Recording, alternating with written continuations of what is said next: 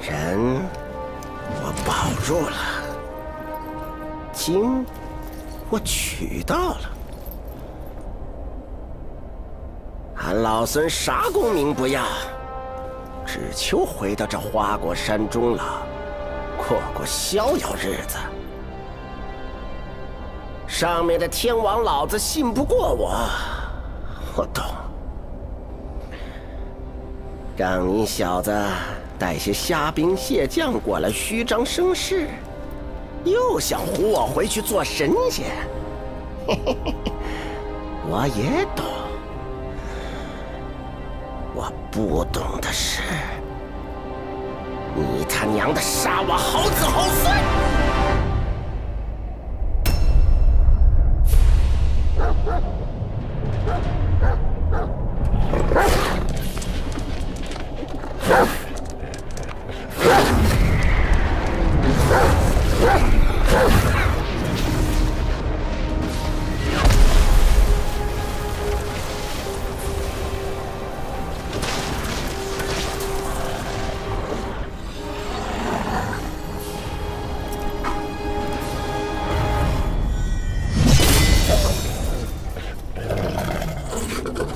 蠢狗，放肆！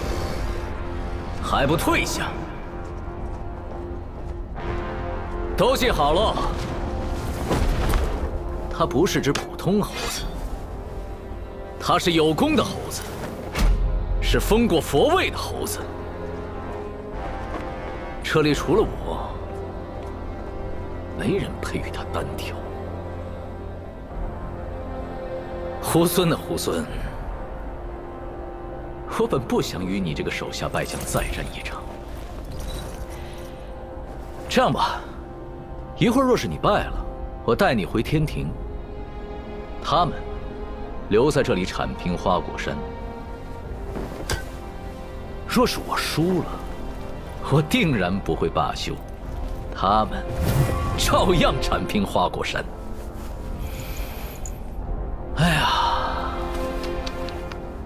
生灵涂炭呢，好歹也同僚一场，是真不想啊。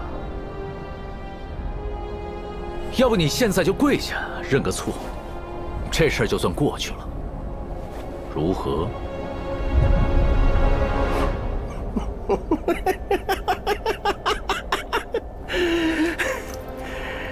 这么多年了，除了那只猪头。就属你最会扯淡，最能逗老孙开心。杨兄弟，你放心，待会儿我只拔下你额头上那颗眼睛尝尝鲜，其他两颗先给你留着，我让你亲眼看看我是怎么杀光天庭每一条狗的。这里的，上面的。刚刚那条黑的，留下点儿，一起上吧！老君一再给你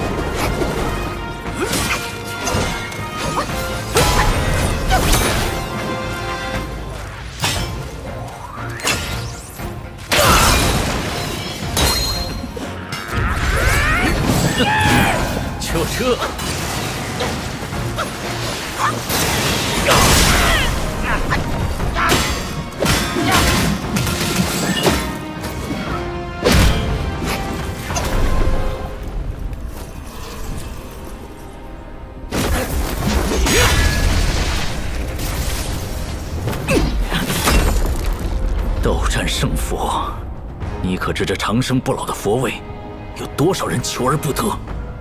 长生不老，三界六道不就毁在这四个字上？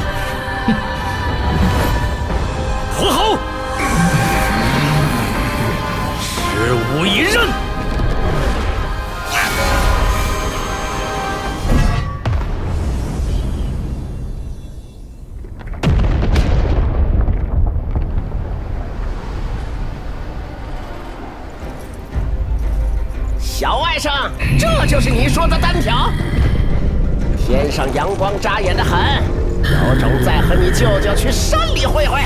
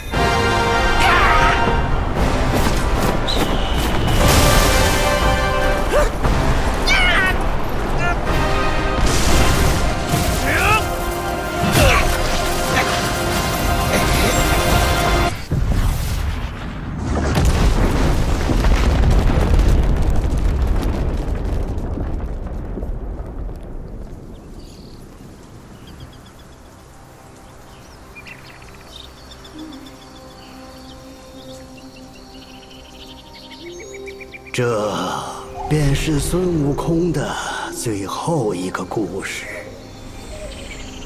他一生豪杰，平生最喜自由自在。纵然得了正果金身，却还是受不得天条繁荣，一心想着回来这里与咱共乐天真。谁知他辞了佛位，欢喜还乡。有些人倒是越发放心不下。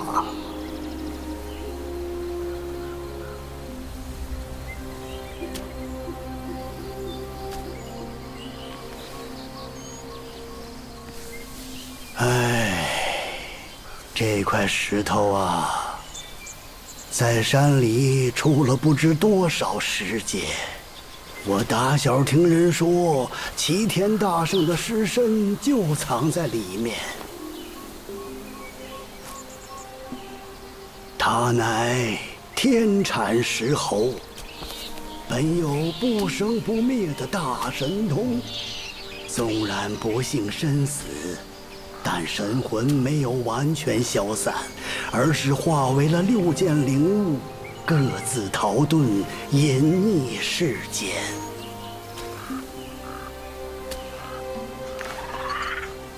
这便是大圣六根的传说。可惜数百年来，无人亲眼得见。唉我老了，走不完这四周茫茫之地。但你们之中，书籍会有天命所归，将他遗下的灵物一一寻遍，待灵物尽数回归花果山之日，或是大圣。复生之时。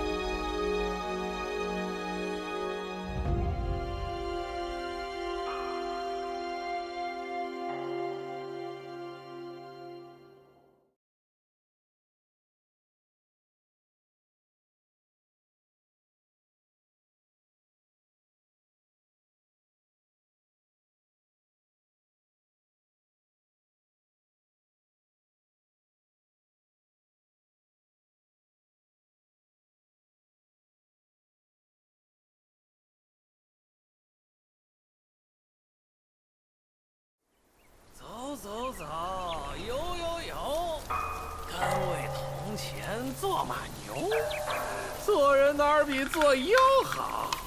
不怕阎王，命不休。哎，你看，缘到福自有。嘿嘿，大哥，真是有口福啊！指不定是从哪个山头上滚下来的。这桃倒是识趣。